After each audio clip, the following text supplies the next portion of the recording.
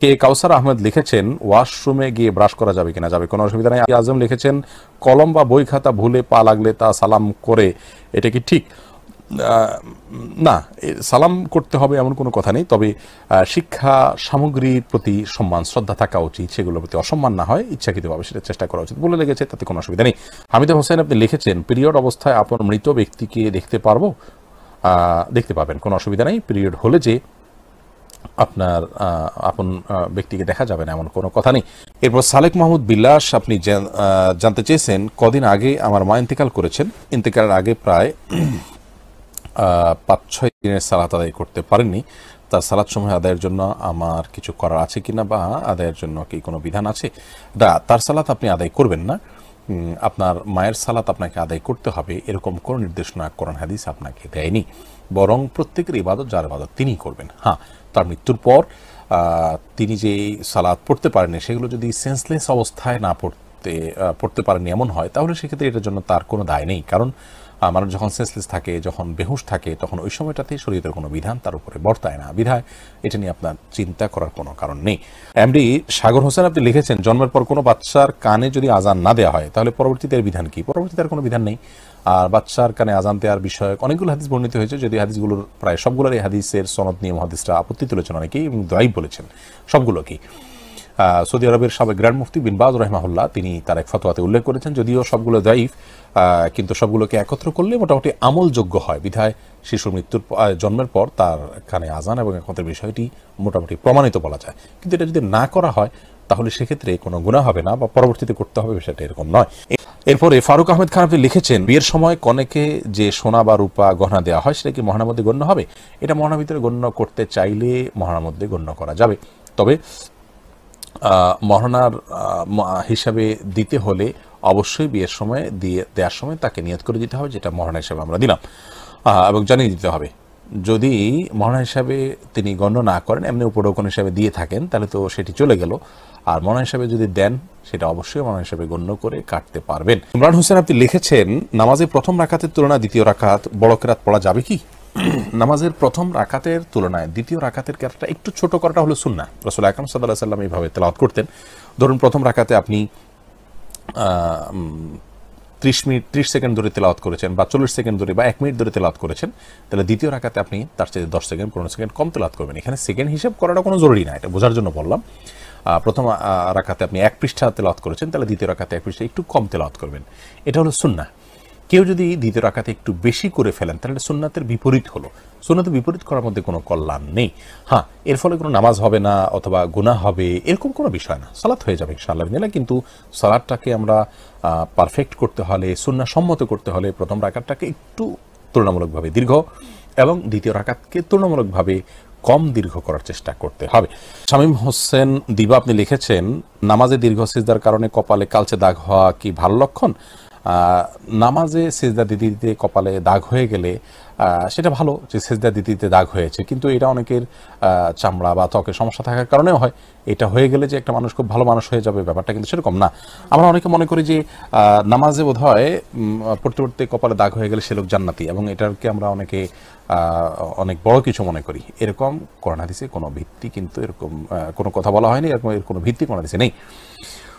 তবে হ্যাঁ ইবাদত করতে করতে তার কোনো আলামত বা ছাপ ব্যক্তির উপরে পড়ে যাওয়া, এটা তো ভালো, আলহামদুলিল্লাহ। কিন্তু এর মানে এই নয় যে এটা ইবাদতের কারণে হয়েছে। এটা শারীরিক কোনো সমস্যার কারণে, তার ত্বকের সমস্যার কারণেও হতে পারে। আর এটা হলেই যে সে ভালো মানুষ হয়ে যাবে আর না হলে সে ভালো এবাদত গুজার না, ব্যাপারটা সেরকম না। এরকম যোগ বিয়োগ করার কোনো সুযোগ নেই। স্পর্শ, এই আইডি থেকে আপনি লিখেছেন, মেয়েরা জুমার দিন কীভাবে জোহর নামাজ আদায় করবেন? অন্যদিন যেভাবে জোহর নামাজ আদায় করেন, ঠিক একইভাবে সেদিন জোহর নামাজ আদায় করবেন। নামাজের রক্ত হওয়ার পরেই তারা আদায় করে ফেলতে পারবেন। মসজিদের জুমার পরে তাদেরকে আদায় করতে হবে। এমন কোনো বাধ্যবাধকতা নেই। সীমা আক্তার লিখেছেন, কোনো নারীর স্বামী মারা গেলে সে কি নাকফুল পড়তে পারবে? পারবে, কোনো অসুবিধা নেই। নাকফুল পড়লে সমস্যা হবে। বা জীবিতরা স্বামী জীবিত আছেন, নাকফুল না পড়লে স্বামী মারা যাবেন। এই সমস্ত কথা আমাদের সমাজে প্রচলিত আছে। এগুলো একান্তই ভিত্তিহীন এবং ভ্রান্ত কথা, যেগুলোর কোনো ভিত্তি কোরআন হাদিসের কোথাও নেই। একজনের নাকফুলের আপনার দায় আরেকজনের উপরে আসবে, একজন না পড়লে আরেকজনকে সেটা দায় নিতে হবে, এরকম কোনো কথা নেই এবং এগুলো নিছকই আমাদের মন গড়া বানানো বিষয়। সুফি চৌধুরী আপনি লিখেছেন, ভুলক্রমে ইমামের সাথে সালাম ফিরিয়ে ফেললে ছুটে যাওয়া নামাজ পড়ার বিধান কি? ভুলক্রমে যদি ইমামের সাথে আপনি সালাম ফিরিয়ে ফেলেন, তাহলে সেক্ষেত্রে ছুটি ছুটি ছুটি সালাদগুলো আপনি দাঁড়িয়ে আদায় করবেন। আর ইমামের সাথে, ইমামের পর পরপরই আপনি সালাম ফিরিয়ে ফেলেছেন ব্যাপারটি। এরকম হলে আপনি পরে সিদ্ধা সৌ দিয়ে নেবেন। সাইফুল ইসলাম লিখেছেন, রুকুতে যদি ভুলে সিজদার তাজবি পড়ে ফেলি এবং তা যদি পরে মনে পড়ে, তাহলে করণীয় কি? তেমন কোনো করণীয় নেই। খেয়াল রাখতে হবে সামনে থেকে যে সিজদা এবং রুকুতে নবী করিম সাল্লাহ সাল্লামের তাজবির ভাষ্য ভিন্ন ভিন্ন ছিল। বিধায় সেই বিষয়গুলো খেয়াল রেখে করব। কিন্তু কখনো উলট পালট হয়ে গেলে তাতে সালাতের কোনো ক্ষতি হবে না, সালাত হয়ে যাবে ইনশাআল্লাহ, বিদিনিল্লাহ। একবার এমডি মাহাদি হাসান আপনি লিখেছেন যারা ধূমপান করে, নামাজ পড়ে না, তাদেরকে দান করা যাবে কিনা? যাবে। দান অমুসলিমকেও করা যায়, বরং তাদেরকে দান করে সংশোধনের জন্য নসিহত করবেন, চেষ্টা করবেন, প্রেশার দিবেন, বুঝাবেন। এফএন তুলি আপনি লিখেছেন, চাচা বা খালুদের কি বড় বাবা, ছোট বাবা ডাকা যাবে? অনেক অঞ্চলে এভাবে ডাকার রীতি আছে এই জন্য বিষয়টা জানা দরকার। বন্তুলি, চাচা বা খালুকে বড় বাবা বা ছোট বাবা ডাকতে কোনো অসুবিধা নেই, কারণ এখানে তাদেরকে অরিজিনালি বাবা বা সত্যি সত্যি বাবা বা জন্মদাতা পিতা এই অর্থে ডাকা হয় না। বিশেষ করে বড় বাবা, ছোট বাবা বললে তো বোঝাই যায় যে তারা আসল বাবা নন। বড় আর ছোট শব্দ দ্বারাই তাদেরকে পৃথক করা হয়ে যায় রীতিমতো। বিধায় এরকম বলাতে কোনো অসুবিধা নেই। এটা বাবার মতো সম্মানীয়, বাবার মতো মর্যাদাবান, বাবার জায়গায় তারা বাবার মতো এরকমটি বোঝানো হয়ে থাকে। রসুল আকরম সাল্লাহ সাল্লাম বলেছেন, আমি তোমাদের জন্য বিমান সালাতিল ওয়ালিদি, বাবার মতো, বাবার পর্যায়ে, বাবা যেরকম সন্তানকে সব কিছু শিখিয়ে দেন, আমি তোমাদেরকে সেরকম সব কিছু শিখিয়ে দিয়ে থাকি। এই জন্য বাবার মতো বড় বাবা, ছোট বাবা বলাতে কোরআন কারিমের ওই আয়াতের লঙ্ঘন হবে না, যে আয়াত আল্লাহ তালা বলেছেন যে উদরহুম লি আবাহিম ও আকসাতু অর্থাৎ তোমরা সন্তানদেরকে তাদের বাবার নামে সম্বন্ধ করে ডাকবে। একজনকে অন্যজনের সন্তান বলবে না। তার মানে অন্যজনকে বাপ ডাকবে না এবং অন্য সন্তানকে নিজের সন্তান বলবে না। এটা হলো সত্যি কেউ নিজের বাবার পরিচয় গোপন করে অন্য কাউকে বাবা হিসেবে পরিচয় দেওয়া বা নিজের সন্তান নয়, তাকে নিজের সন্তান হিসাবে মিথ্যা পরিচয় দেওয়া। এটা সেক্ষেত্রে। আর যেখানে সন্তান আর বাবার বিষয় না, বিষয়টা হলো জাস্ট সম্মানের, সেখানে এই সমস্যা নেই।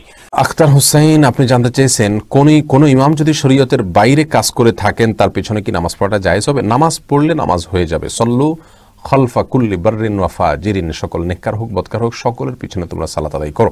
এটি একটি কমন নির্দেশনা, যার কারণে এটি সই বুখারের একটি বর্ণনা, যার কারণে আপনি যেই কোনো ব্যক্তির পেছনে সালাত আদায় করবেন। ইমাম সাহেব যদি ইমানদার থাকেন, ইমানের গণ্ডিতে যদি থাকেন, তাহলে তার পিছনে সালাত আদায় করবেন।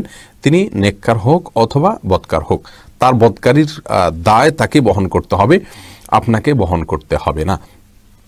আর এর বাইরে যদি সে বেদাতি হয়, আর তার বেদাতটা যদি কুফুরি পর্যন্ত না হয়, তাহলে সেক্ষেত্রে সেই বেদাতির পিছনে আপনি সালাত আদায় করতে পারবেন। আর যদি কুফুরি পর্যন্ত পৌঁছে যায়, আল্লাহ মাফ করুক, তাহলে সেক্ষেত্রে তার পিছনে সালাত আদায় করতে পারবেন না।